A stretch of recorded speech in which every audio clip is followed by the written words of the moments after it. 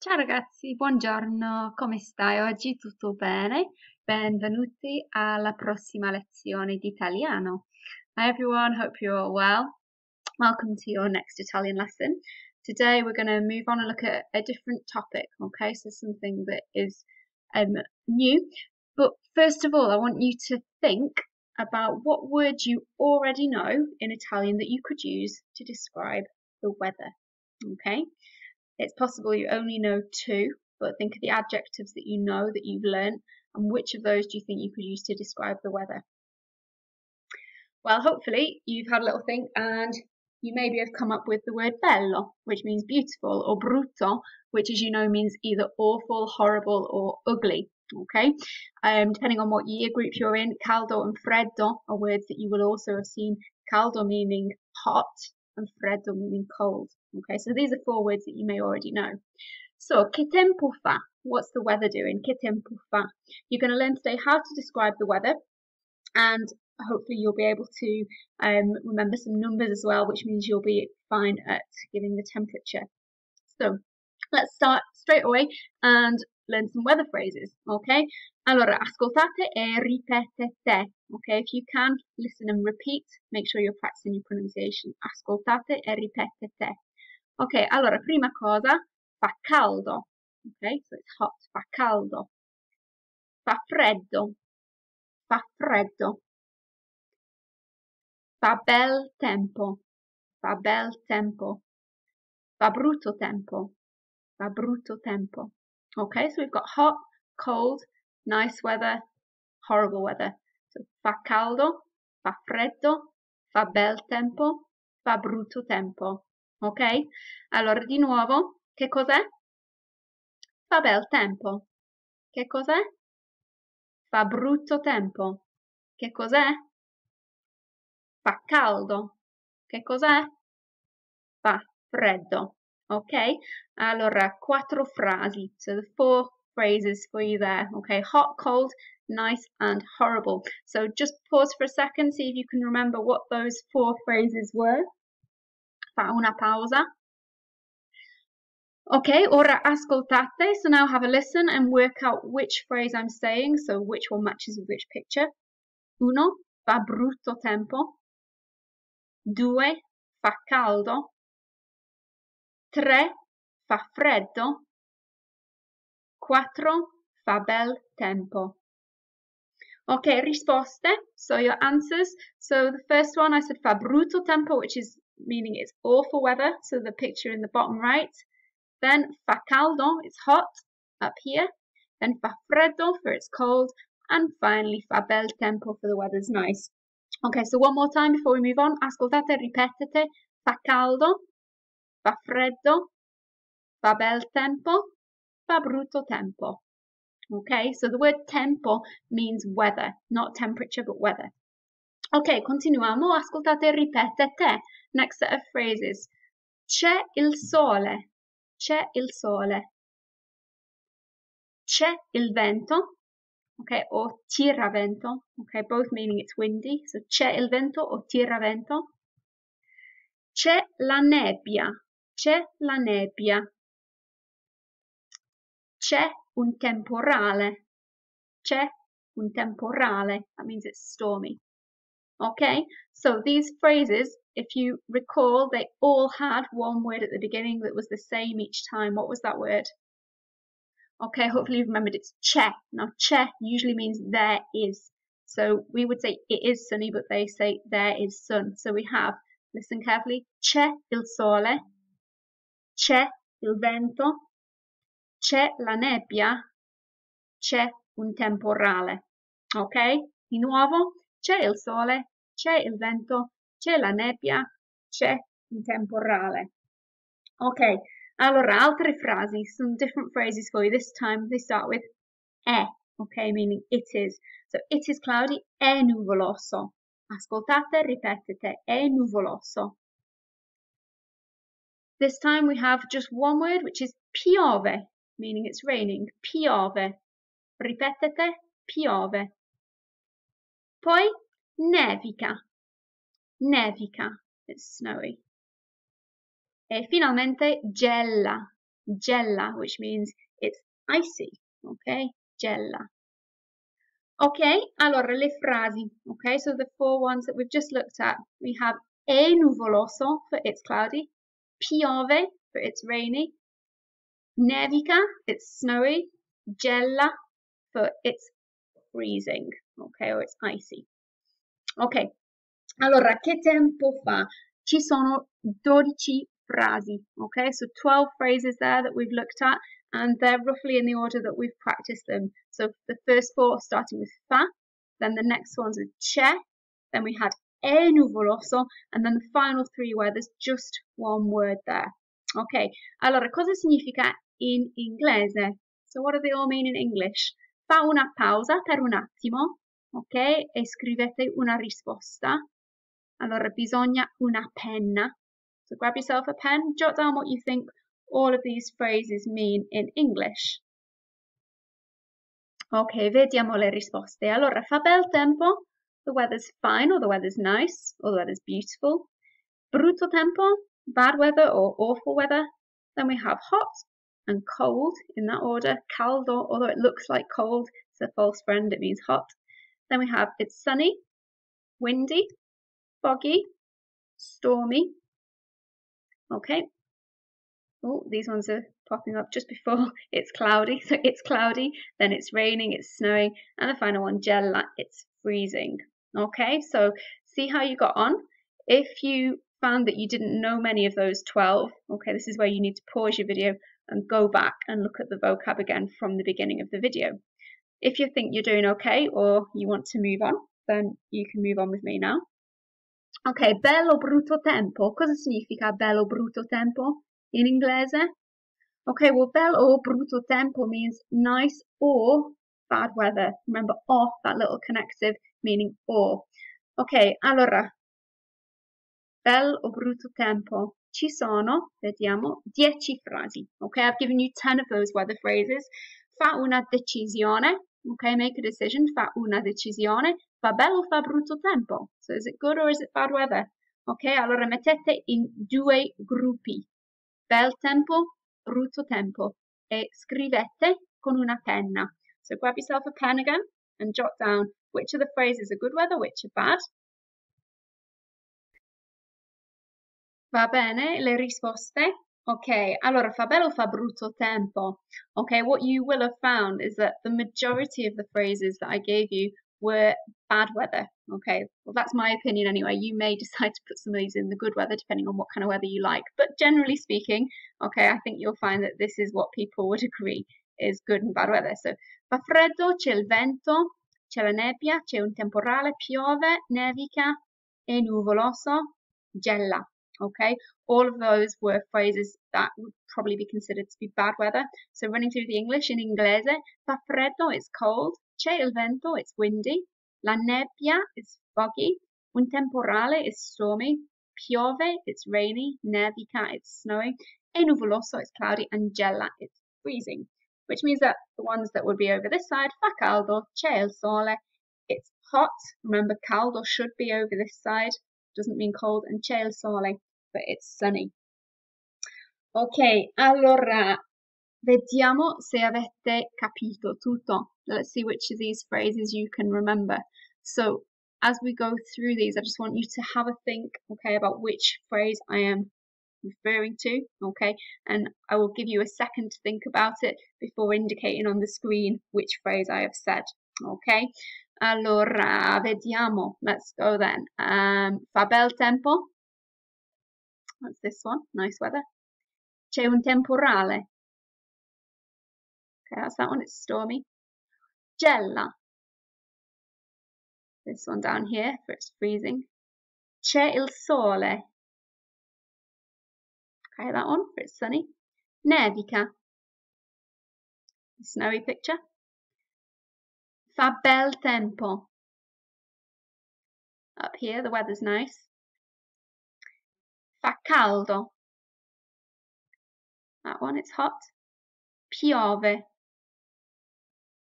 This one, it's rainy. And let's do one more. È nuvoloso. That's this one here, it's cloudy. Okay. Allora, facciamo un esercizio. Okay, let's do some exercises then together. So this one is something that we'll work through. Um, you can pause the video now so you can have chance to do it. You are going to be doing a match-up exercise. Abbina l'immagine e l'italiano. Okay, so matching up the image with what you see written in Italian. So the example that I put there for you when you see it, picture number six, okay, which is fog, it will match up with the phrase c'è la nebbia. Okay, allora vediamo. So let's go and have a look at this exercise together.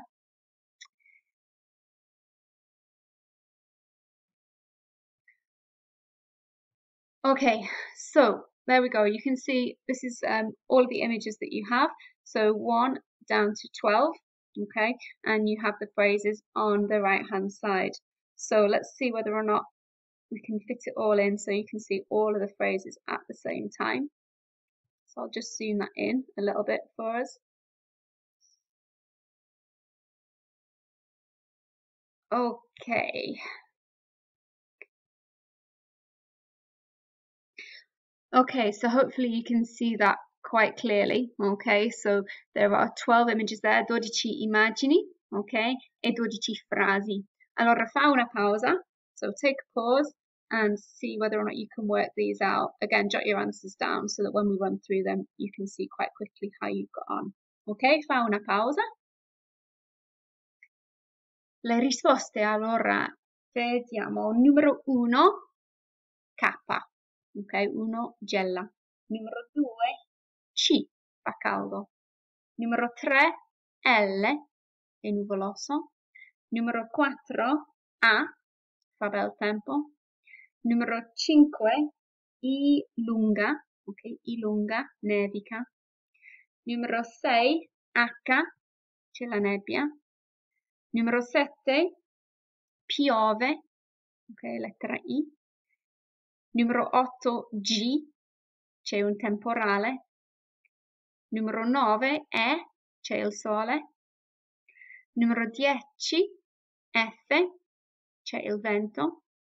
Numero 11 D fa freddo e numero 12 B fa brutto tempo.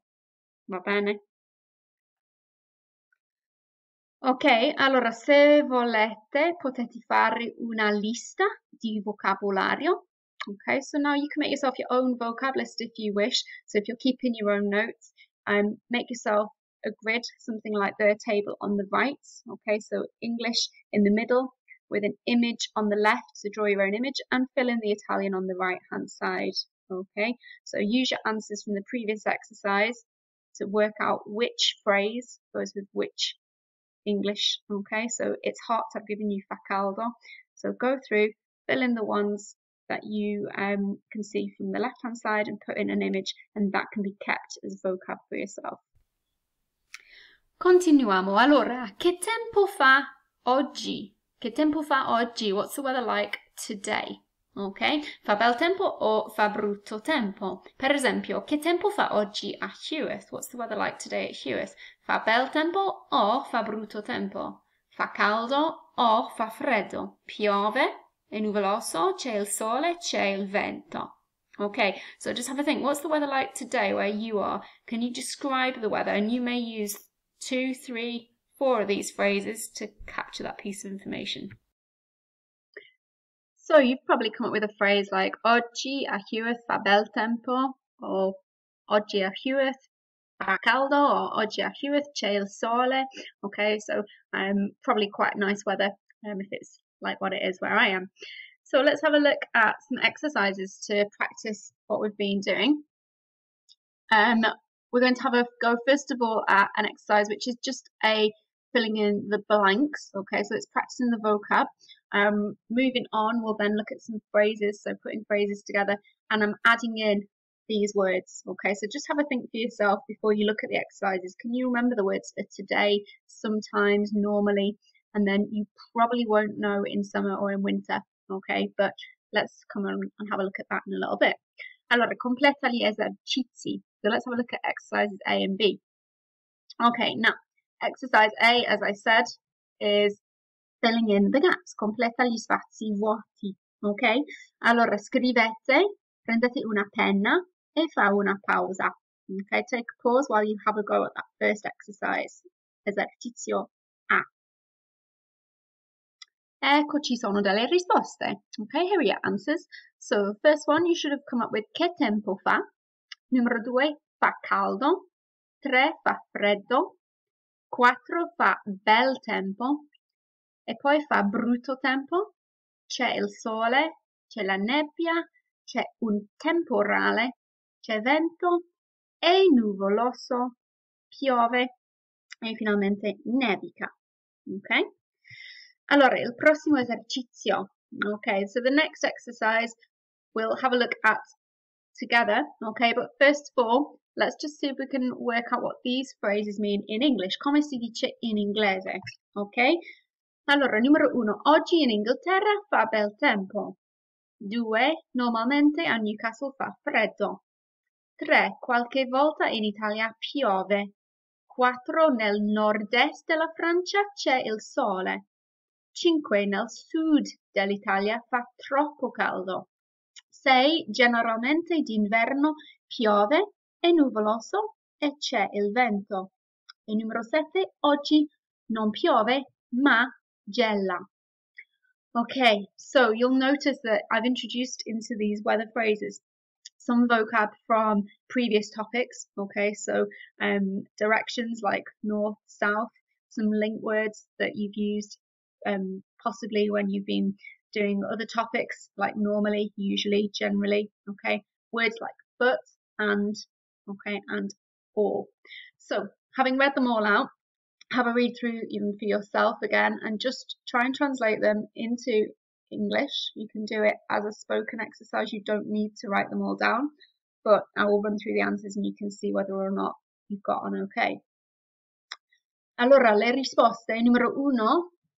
Today in England, the weather is nice. So oggi meaning today. Numero due. Normally in Newcastle, it is cold. Numero tre, sometimes in Italy it rains. Quattro, in the northeast of France it's sunny. Cinque, in the south of Italy it's too hot. Okay, troppo meaning too. Numero sei, generally in winter. Okay, I mentioned that before. D'inverno means in winter. It rains, it's cloudy, and it's windy. Numero sette, today it's not raining, but it's freezing. Remember, you can introduce the negative by just putting the word non in front of your verb. So non piove, it's not raining, but it is freezing. Okay, so see how you've got on. Allora continuiamo con esercizio B. Okay, having done those phrases together, have a go now by yourself at exercise B. Abbina l'italiano e l'inglese. So match the Italian with the English. Ok? Allora ci sono sei frasi in italiano e sei in inglese e scrivete una lettera. Ok? Una lettera. So just jot down the letter that corresponds with the phrase on the left. Bene, allora la prima frase numero uno. Che tempo fa oggi? Hopefully you've remembered that that one means what's the weather like today? Allora, uno, C, one C. Numero due, d'inverno fa freddo. Ok, d'inverno we saw a minute ago, it meant in winter. Allora, numero due, G, eh, D, scusa. Numero due, D. Numero tre, d'estate fa caldo e c'è il sole. Now this word, d'estate, I haven't taught that to you so far. However, you do know fa caldo e c'è il sole. So through process of elimination, you can work out that must be F. So d'estate is how you say it in the summer. The D'estate fa caldo e c'è il sole. Numero 4. Qualche volta in Inghilterra tira vento fa freddo. Okay, numero 4 is talking about what the weather's like in England. Okay, so you needed to find the phrase which has England in it, which is E. Okay, that's the only one it could be. Numero 5. Oggi fa bel tempo in Italia. A. Oggi, remember, means today. E numero 6, normalmente d'inverno fa brutto tempo. Normally, okay, remember in Italian, anything with mente on the end is the equivalent of ly in English on the end of the word. So normalmente, normally. Okay, generalmente, generally. Raramente, rarely. Ok, va bene? So, having just heard me tell you the answers to lots of those um, phrases, can you still remember how would you say today, sometimes, normally in summer and in winter? Okay, how many of those can you remember? Allora, come si dice today? Allora, in italiano today è oggi, ok, oggi. Sometimes, qualche volta, normally, normalmente, in summer, d'estate, and in winter, d'inverno. Ok. Continuiamo allora e ora voi scrivete in italiano, ok? Esercizio C, scrivete in italiano. So for exercise C, it's asking you to write those phrases in Italian. So you'll need to go back, find your vocab list from earlier on, okay? And also look at the previous exercises. So words like today, normally, sometimes if you've not written them down as you've been watching the video, you'll probably need to go back and find how those phrases are said. Um, write them down, okay? Pause the video while you do it and we'll go through some answers afterwards so you can see whether or not you've translated those accurately.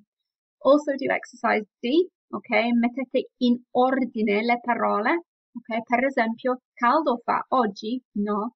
Però oggi fa caldo? Sì. Okay, so caldo fa oggi doesn't mean anything, but oggi fa caldo means today it is hot. Allora mettete in ordine. Okay, so put those in the correct order. Answers when you unpause the video after having taken a good five minutes or so.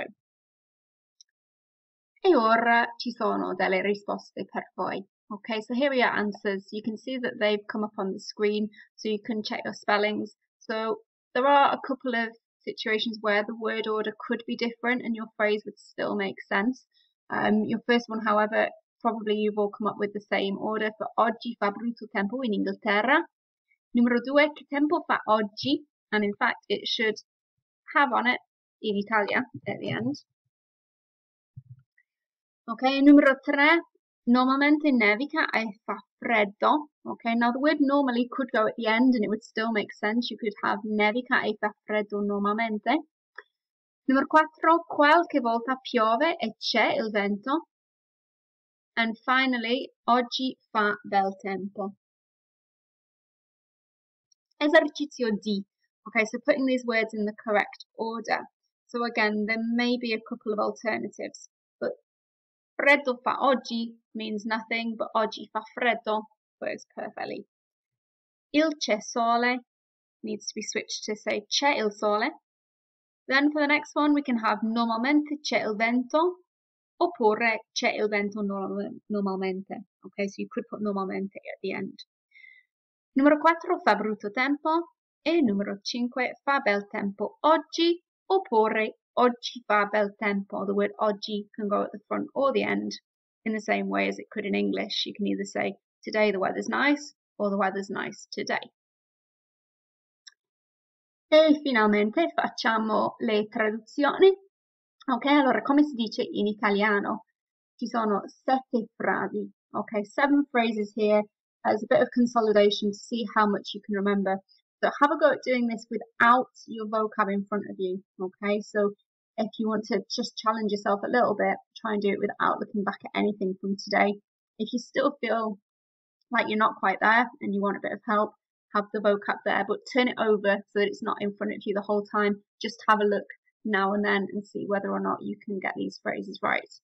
So, the first one, normally it is sunny. Hopefully you've got normalmente, c'è il sole. Numero due, today is cloudy. Oggi fa freddo e è nuvoloso. Numero tre, today is very hot and sunny. Okay, the word very is an addition there. It's oggi fa molto caldo. So the word molto means very. E c'è il sole. Numero quattro, generally it's cloudy and windy. So remember what I said about the English words that end in ly? In Italian, it would be the equivalent of having mente on the end. So number four is generalmente è nuvoloso e c'è il vento. Cinque, sometimes the weather is nice. Qualche volta fa bel tempo. Okay. Numero sei, the weather is bad and it's very cold. Fa brutto tempo e fa molto freddo. Okay, again, that word very is molto. E finalmente numero sette, last one.